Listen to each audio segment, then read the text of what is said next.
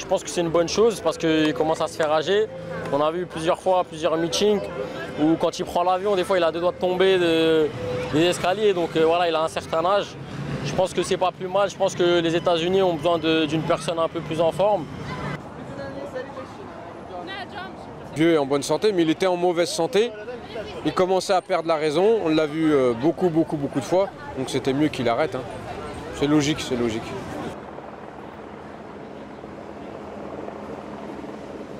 I think there were some statistics that were saying maybe 70 to 80% of uh, US voters thought he was too old anyway. Uh, I think the debate performance was, uh, you know, probably showed that, that maybe cognitively he wasn't up to it. So I think I think probably it's not much of a surprise. I mean, if you're following news for the last week or so, uh, everybody has been saying it. Uh, every top Democrat has said it. It will happen. So it was a matter of time. Not surprised at all. I think it's the right thing.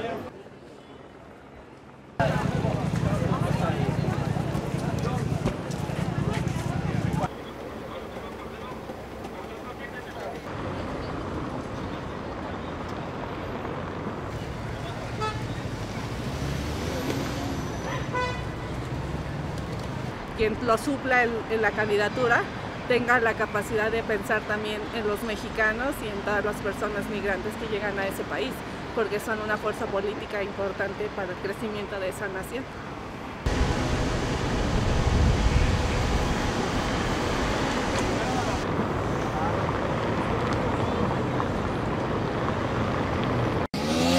I like Kamala Harris. She's a very honest person and I, I support her for president. If uh, she decides to run for, a, for the White House, I support her 100%.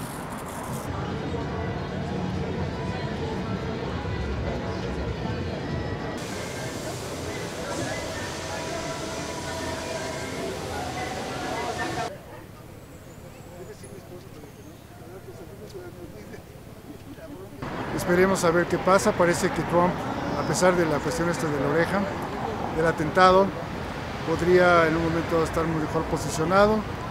Puede ser que sí. Uh, lo que realidad que nos preocupa, preocupa es México, ¿no?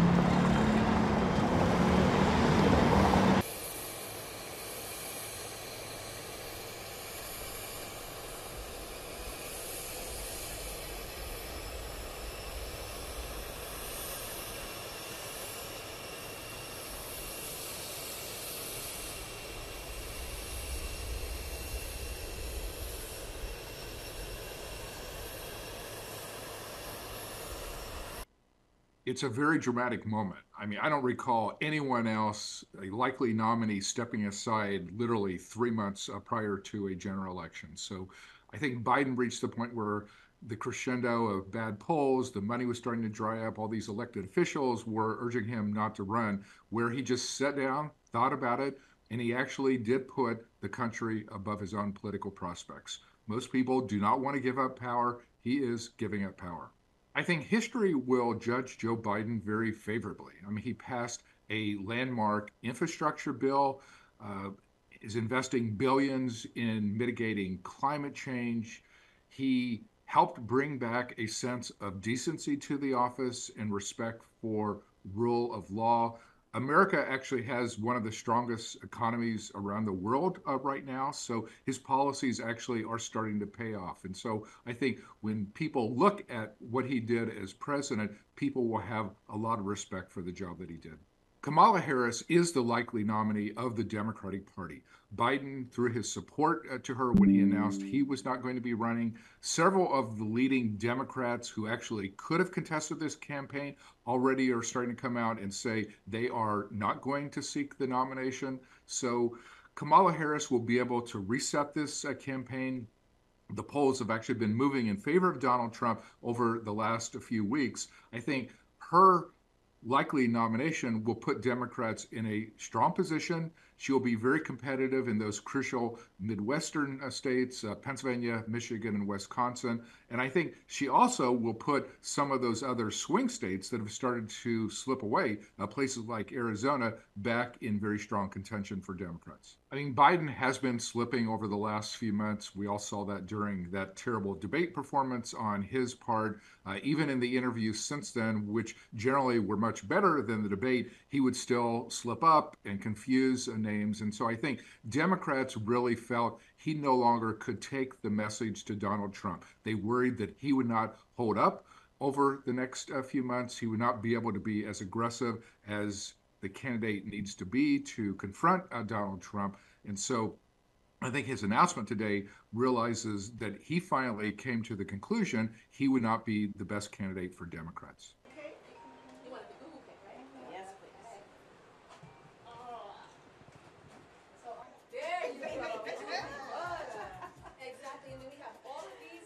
How President Biden is viewed, what President's legacy will President Biden's legacy will be depends very much on what happens in November.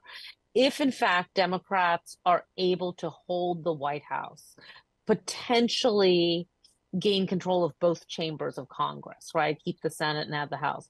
Then I think this will be seen as a, a very uh, timely and important decision if Democrat, but this is late in the game. Um, there have been concerns raised about President Biden's age, energy, ability to run effectively for more than a year now. And uh, this is the timing is very tight for Democrats. The convention, their convention begins on August 19th. They have four weeks to either solidify around a candidate, Vice President Harris being the logical choice, or have an open convention, which we haven't seen since 1968. Well, I think, first of all, let's be clear. Although Vice President Harris is the logical choice, to move to the top of the ticket and has President Biden's enthusiastic endorsement, has been endorsed by a number of Democrats already, including former President Clinton, among others. Um, it's still unclear what will happen. And ultimately, now the pledged delegates will have to cast their votes that now that President Biden is not running after if there if this goes beyond a first ballot, then the uh, so-called well previously known as the super delegates, with some 700 of them, would have a voice as well. So by no means is the party has not. It's not clear at this point that Vice President Harris will be the nominee. I, I think the question for Vice President Harris is not whether can a woman win the presidency. It's can Vice President Harris win? And there have been her approval ratings have not been great in office. She has had um, she has had some major electoral successes throughout a, a very rapid ascent from Attorney General of California to senator to vice presidential candidate to vice president. Remember, in the 2020 presidential campaign, she suspended her campaign before the nominating contest began due to issues with funding and popular support.